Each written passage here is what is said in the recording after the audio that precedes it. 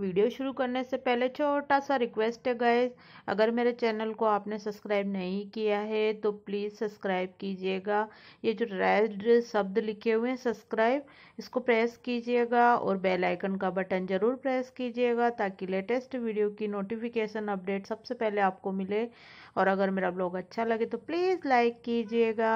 Subscribe और like free है guys इसका कोई चार्ज नहीं लगता है। प्लीज़ कंजूसाई मत करिए। और यहाँ पार्लर में जो बैक मसाज होती है गाइज़ वो नीचे तक लेते हैं पीठ पे। मैं केवल यहाँ गर्दन की जो है काला काला जो हो जाता है ना गर्दन उसको साफ़ कर, जो है करवा रही हूँ। तो यहाँ क्लीजिंग और स्क्रब पहले मैंने क्लीजिंग करवा ली है। और फिर थोड़ा सा उसी में स्क्रब ले लिया है। तो स्क्रब से क्या होता है? गर्दन पे जो जो काला काला होता है ना, वो साफ़ हो जाता है। तो यहाँ मसाज देते हुए पूरे कंधे को करते हैं। तो यही जो जब हेयर वॉश करते हैं हेयर स्पा करते हैं, तब उसमें भी यही होता है और फेशियल करवाते हैं, तब भी पीछे पूरे बैक में मसाज होता है तो यहाँ एट बनाना है और लहर वाली स्टेप करनी है मुक्की वाली थप्पी वाली और प्रेशर पॉइंट दबाने हैं और कंधे का दबाना है क्योंकि मेरे बैक में ही प्रॉब्लम है कंधे में। तो कंधे भी, भी दबाए जाते हैं और जब हेड मसाज की जाती है ना गाइज़ जब सिर में तेल लगाया जाता है तब भी ये कंधे दबाए जाते हैं और हेयर स्पा किया जाता है तब भी कंधे दबाए जाते हैं और बैक मसाज फेशियल में होती है। तो इस तरीके से पीछे जो जितना भी कालापन होता है ना गाइज़ वो साफ़ हो जाता है। और अगर आपके पास क्लीजिंग नहीं हो तो आप दूध में, कच्चे दूध में हल्दी डाल के और उससे भी आप, जो है, हाथ से या रुई से कॉटन से लेके आप साफ़ कर सकते हो। और ये पीछे देखिए, ये कंधा मेरा बहुत दर्द करता है तो ये इसी पे प्रेशर दे रही है पॉइंट दबा रही है इसके। और इससे बहुत रिलीफ भी मिलता है, रक्त का संचार होता है, क्योंकि गर्दन मेरे कंधे पे ही दर्द है इसलिए और साफ़ भी हो जाती है गर्दन, जो पीछे बहुत ब्लाउज का गला बड़ा जो पहनती है ना लेडीज़ उनको वो जो है साफ़ रखना ही पड़ता है काला काला हो जाता है गैस पीछे। जहाँ अपनी जो त्वचा कपड़े के संपर्क में नहीं आती, खुली रहती है, वहाँ से वो कालापन हो जाता है। इस वजह से और बस ये लड़कियाँ देखिए पोज दे रही है। लास्ट में मैं आ रही थी, तब ये पोज दिए थे। तो सारी क्लिप एक साथ मैंने शूट कर रखी है, क्योंकि अभी दो दिन से, तीन दिन से मेरी तबीयत बहुत ज़्यादा ख़राब हो रही थी। एक दिन तो अभी जो है खाना ही नहीं बना और मेरी मैड ने भी छुट्टी कर ली थी गाइज़ मैड बार बार छुट्टी कर लेती है। ये उल्टी उल्टी क्लिप ले ली लड़कियों ने। आई रियली वेरी सॉरी इसके लिए। मैंने नहीं काटा, इसको अच्छी लग रही थी तो मैंने नहीं काटा, उल्टी है थोड़ी सी तो बस वही। और, जो है, मैड ने मेरी छुट्टी ली थी और झाड़ू पोछा, बर्तन, वो और खाना वगैरह और एक दिन तो है ढाबे में और होटल में खाना खाया था स्वामी जी ने। बस वही है। और चलिए तो अब आज जो है डेली रूटीन में मैंने खाना बनाया है देखिएगा आप मेरे कौन गेस्ट आए हैं। तो बस वही आ, मैं आपके साथ शेयर करने वाली हूँ। तो मुझे एडिटिंग अभी इतना नहीं आता है तो क्लिप भी उल्टी हो गई तो वो भी मुझे सीधा करना नहीं आया गाइज़ तो चलिए आई रियली वेरी सॉरी लड़कियाँ कह रही है मैम इस तरीके से हंसीए हाथ को ऐसे करिए ऐसे करिए। और मुझे इतना आता ही नहीं है और आ, मैं जो है फ्रंट में भी इतना नहीं आती हूँ। और फ्रंट में आती हूँ तो गैस मैं बातें ज़्यादा कर लेती हूँ इस वजह से। और दो तीन दिनों से जो है आपको खुद को पता है कि मेरी तबीयत ख़राब है आ, और क्या किया जाए। और बस पापा जी भी जो है भैराना धाम से आ गए हैं तो अब मुझे खाना वाना जो है बनाना है। और क्योंकि नहीं तो नहीं बनाऊँगी भले चाहे तबीयत ख़राब हो चाहे मत हो गैस बनाना तो पड़ेगा ना। नहीं तो फिर सभी भूखे मर जाते हैं। तो चलिए, ये बैग का जो है छोटी सी क्लिप मैंने जोड़ दी है और आपकी रिक्वेस्ट के अनुसार नहीं तो मैं जो है नहीं जोड़ने वाली थी इन सबको। तो और आपके पास स्क्रब ना हो ना तो आप सूजी या मक्की का दलिया, वो आप दही में या जो है कच्चे दूध में भी मिलाकर और स्क्रब बना सकते हो आप। जैसा कि मैं होममेड ट्रिक्स जो है मैंने मेरे इसी चैनल पे जो है अपलोड कर रखे हैं तो आप विज़िट कीजिएगा यहाँ। गर्म पानी की बोतल मैंने भर दी है। नाश्ते की तैयारी कर रही हूँ मैं सुबह सुबह मैं बता दूँ गाइज़ मेरे आए हैं मौसा जी जो लखनऊ में रहते हैं, वो मौसा जी आए हैं। तो बस यहाँ मेरी तबीयत तो ख़राब थी, सुबह ही मैं नहा ली थी जल्दी और तीन चार दिन से मैं सुबह ही जल्दी नहा रही हूँ और बस मौसा जी आए थे तो नहाने का काम मेरा हो चुका था। मौसा जी थोड़े लेट आए थे, रात भर चले थे वो और यहाँ पर रेडीमेड नाश्ता मैंने मंगवाया है। लड्डू रख दिए, बिस्किट, नमकीन ले लिए मैंने, फ्रूट वगैरह रखे थे, केले और एप्पल और जो है समोसा, कचौरी और ये सब मंगवाए हैं। तो बस यही मैं यहाँ पे थैली रखी हुई है तो ये खाली करूँगी अभी और फिर जो है निकाल के रख दूँगी। यहाँ स्वामी जी कुछ निकाल रहे हैं शायद। हाँ ये देखिए, ये स्वामी जी निकाल रहे हैं कुछ और चलिए और अब जो है गुलाब जामुन मंगवाए मैंने।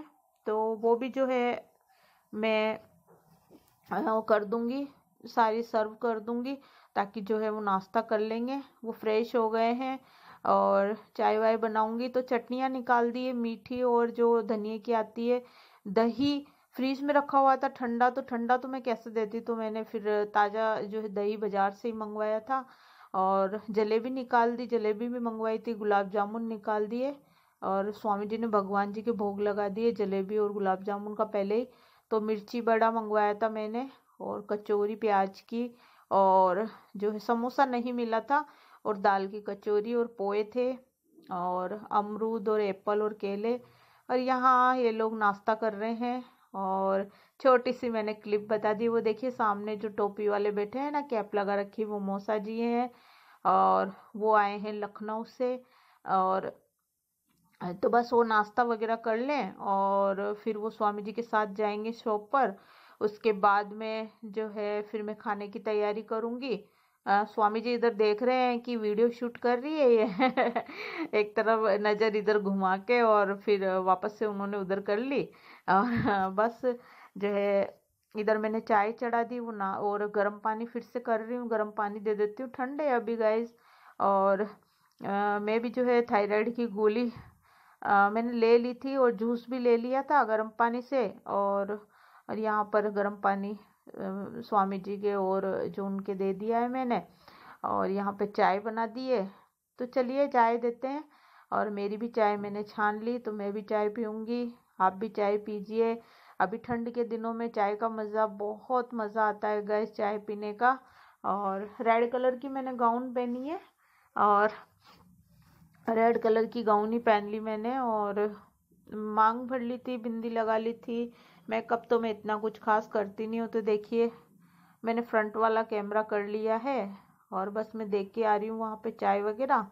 और वैसे वो मेरे मौसा जी लगते हैं, मैंने फर, फिर भी चुन्नी ढक रखी आदत जो पड़ी हुई है, सिर पे चुन्नी डाल ली। और कोई ना अच्छा लगता है चुन्नी डालना, सम्मान देना होता है बड़ों को। तो चलिए एक छोटा सा व्यू ले रही हूँ मैं।